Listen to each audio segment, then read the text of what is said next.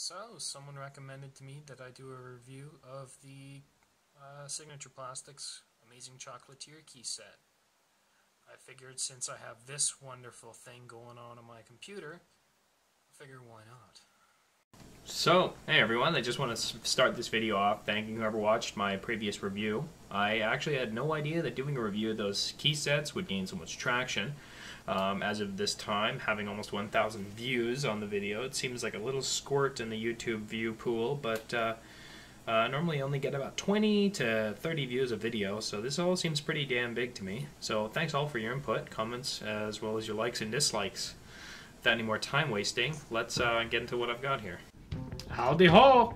So what are we looking at today? Let's take a look at the SA keycaps known as the Amazing Chocolatier from Signature Plastics. This was a drop set in about mid-August to early August in 2016, and this drop was the first one that absolutely decimated my wallet. I've been waiting tirelessly for this set to ship, with good reason. This is my first SA key set, and having liked the baby brother of the cylindrical keycap family, the DSA profile, I've been really wanting to bite into this taller, beefier profile long since I even knew what it was called.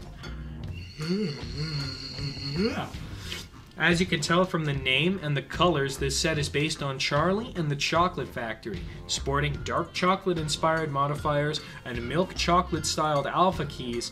These things look scrumptious. These set caught my eye because a lot of the time you'll get really colorful SA sets or really bland, boring, tasteless gray ones.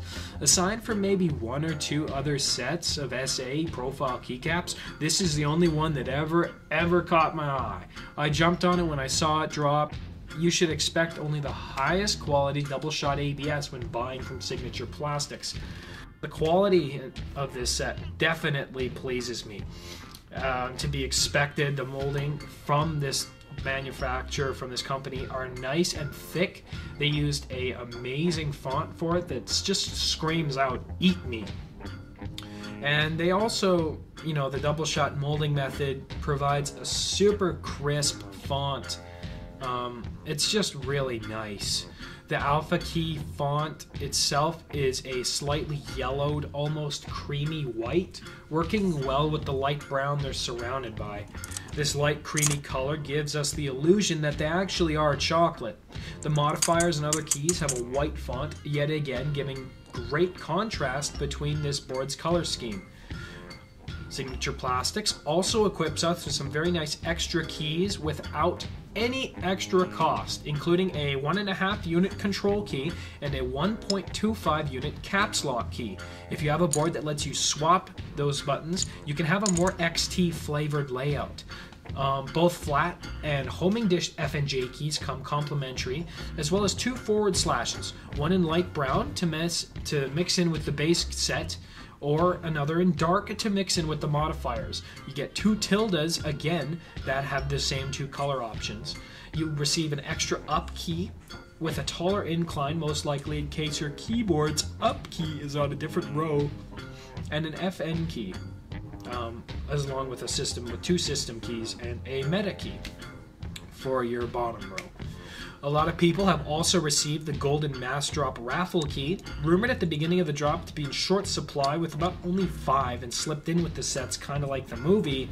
The company's been very liberal and given us all a chance to enter Willy Wonka's wonderful world.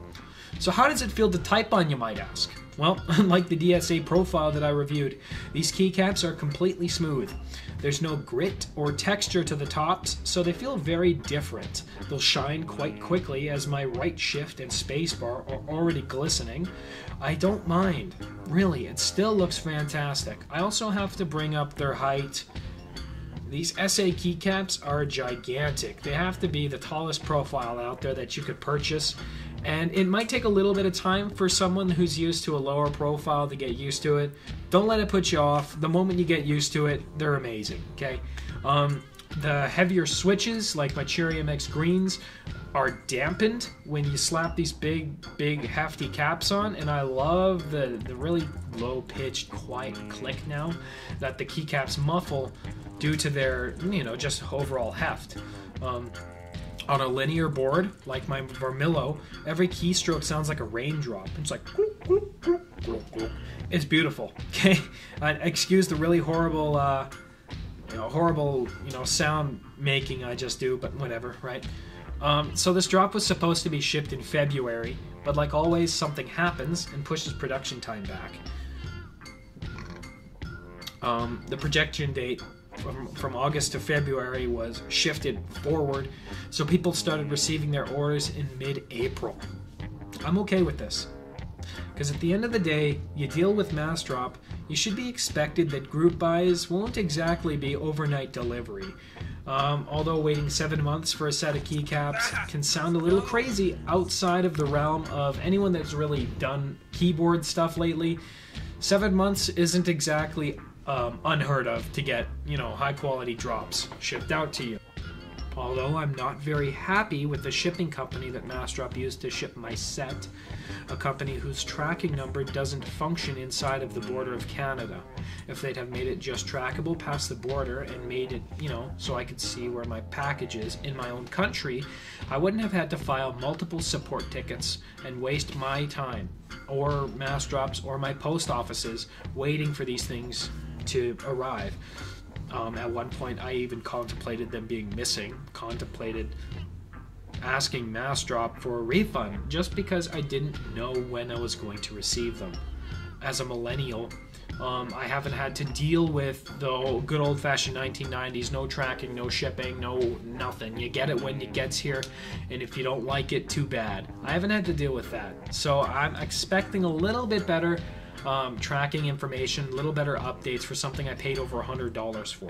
Aside from major gripes mostly being about the shipping, I can't really fault the set on that. But typical from Signature Plastics, we get a few crooked caps in this drop.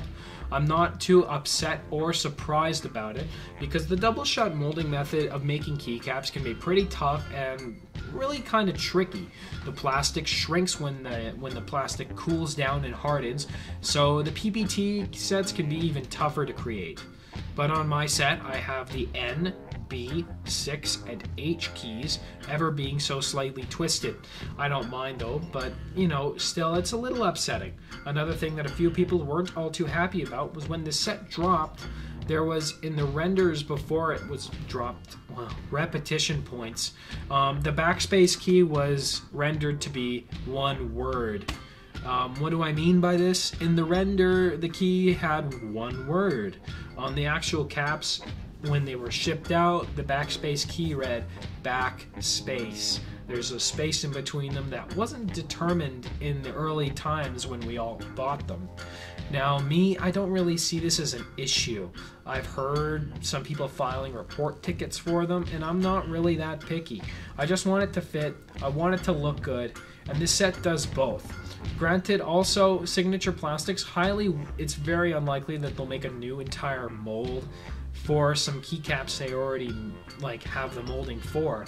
I know in my DSA set that there's a space between the back and space keys on their keys as well, and really I don't care one bit. It looks fantastic.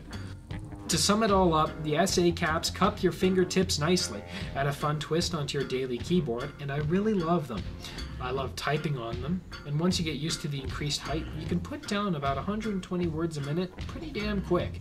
Some people might tell you that they're tiring to use, that they see these as a show car, beautiful to look at, lots of personality behind them, but not a good commuter. They're beautiful, although the feeling of the keycaps and profiles are extremely subjective. You can't argue that the amazing chocolatier keycap doesn't have a charm that won't soon be forgotten. Thanks for watching, everyone. I really appreciate you taking the time to watch another review. As always, tell me what you think in the comments. Up next is a de demonstration of me typing on my Quickfire Stealth once again. All right. Thanks a lot, guys. You have a nice day.